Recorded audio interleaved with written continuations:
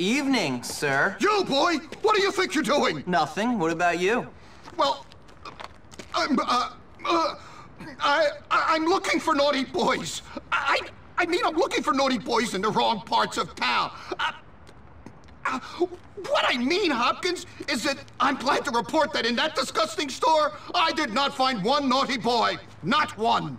Well, that's good, sir, because filth like that can really rot a young man's mind. Exactly! That's why I got this research, to check on the dangers. It's good to see a teacher so dedicated to his work, sir. Thank you! No problem. But I'll tell you, Hopkins, I'm quite worn out with all this work.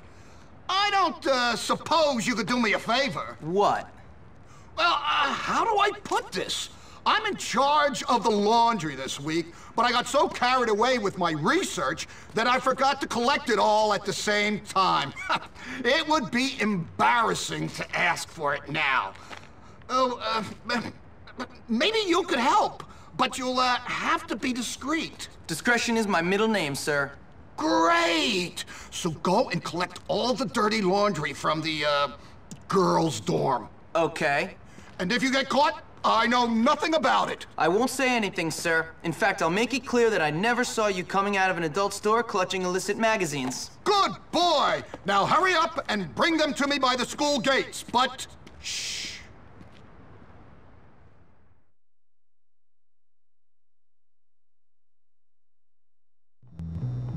I'll see you soon, Jimmy.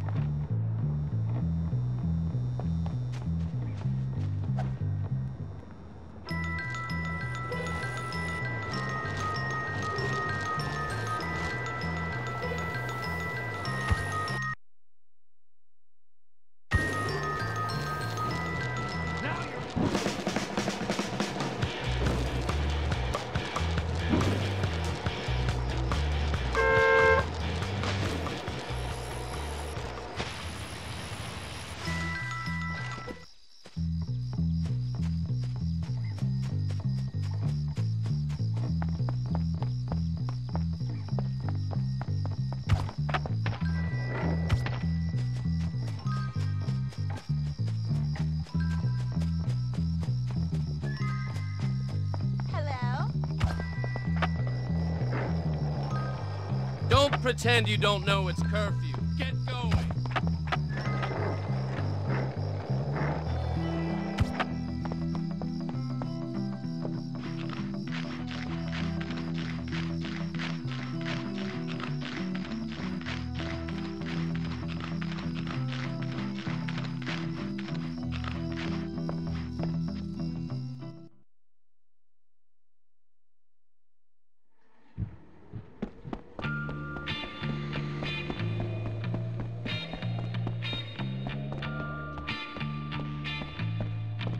Hey, Angie, check this out.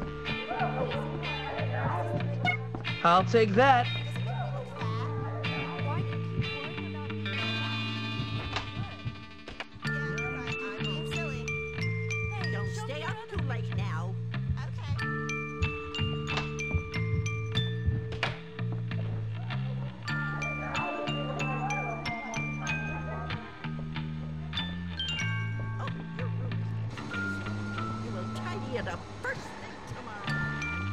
Why'd anyone throw this away?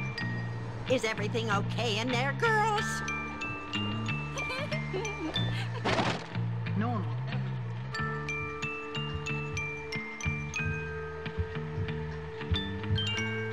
Have you finished your homework?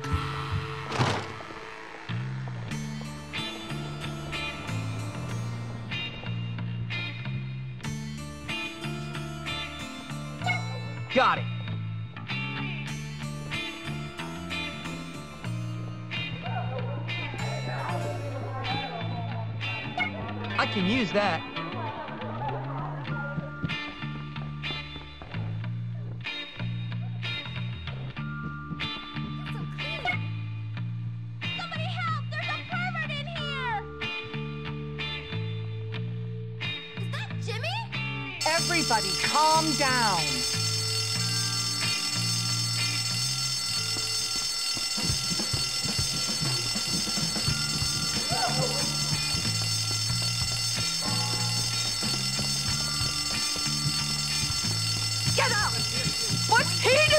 here?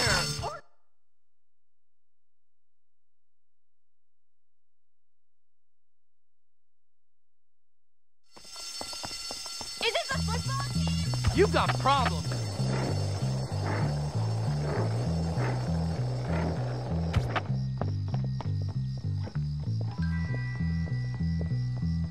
I hope these are worth all the trouble I just went through. Yes, thanks for this laundry. Here's some money for your troubles.